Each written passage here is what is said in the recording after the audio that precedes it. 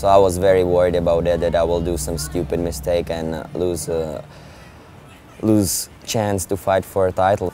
I'm just like sitting somewhere in a corner and I'm imagining my tricks. I'm imagining myself, how to do it, when to do it, what to do.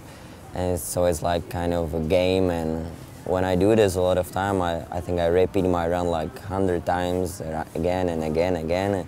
And then I just go there and when I just go into track and ride my my run, I'm just like, you know, I just click on different different person, like, you know, the rider or PlayStation guy, and I'm just like, yeah, I, saw it in my imagination, so now is the time to do it in real, and I just, you know, go for it. And also the crowd and all the pressure kind of helps me, and uh, I feel like totally different person while I'm riding an event or while I'm riding practice or just just uh, you know be a normal guy through through normal day. Make some noise for the leader,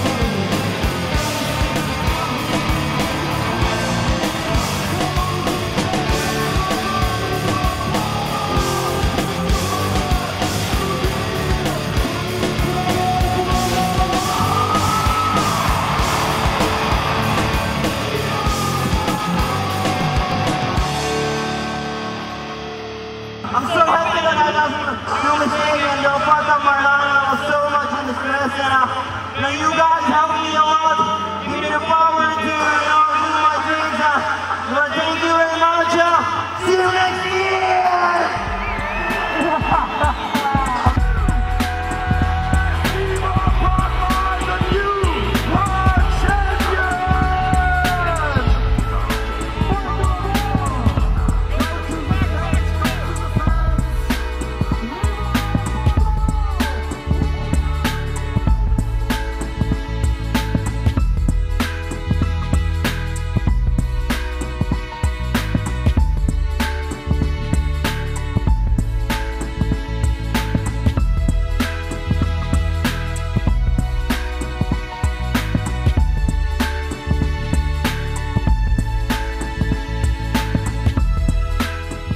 Now I'm kind of I'm feeling so relaxed now and uh, I was I was working on it all year long means a lot for to me and like hard to talk and uh, I can see that I'm here with that gold thing on my neck but uh, I think I'm gonna realize in the next like few weeks I'm gonna party hard as a real freestyle motocross rider and uh, yeah I'm gonna enjoy it.